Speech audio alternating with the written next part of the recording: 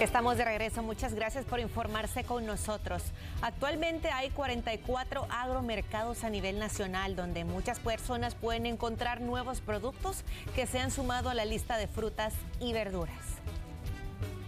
Uno dólar de cebolla morada, uno de blanca, un dólar de ajo. Le voy a poner eso. Don Alfredo prefiere comprar en los agromercados. Considera que aquí encuentra precios más bajos, sobre todo en las verduras por lo que desde las 6 de la mañana hizo fila para adquirir los productos en el punto instalado en el Parque Daniel Hernández de Santa Tecla. En la verdura mucha diferencia. ¿En cuál? Eh, como en el tomate, la cebolla, eh, un pepino y otras cuestiones como vaya, supongamos el plátano también.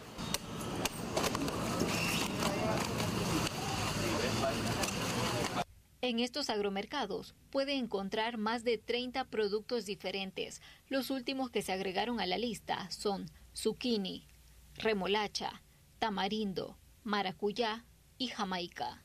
Algunos salvadoreños dicen que cuando compran aquí tienen un ahorro respecto a lo que habían presupuestado para comprar frutas y verduras.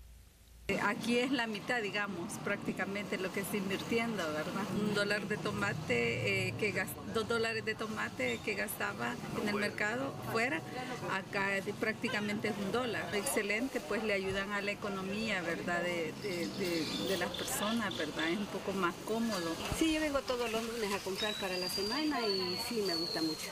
Sí, este, vale la pena de la colita para comprar.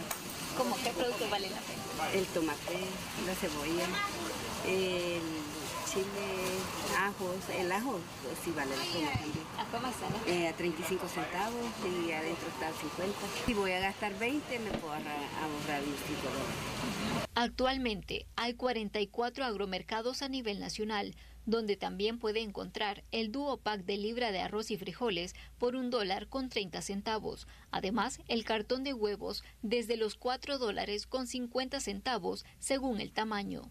Con imágenes de Juan Castellanos, un reporte de Iliana Leiva para Noticiero Hechos.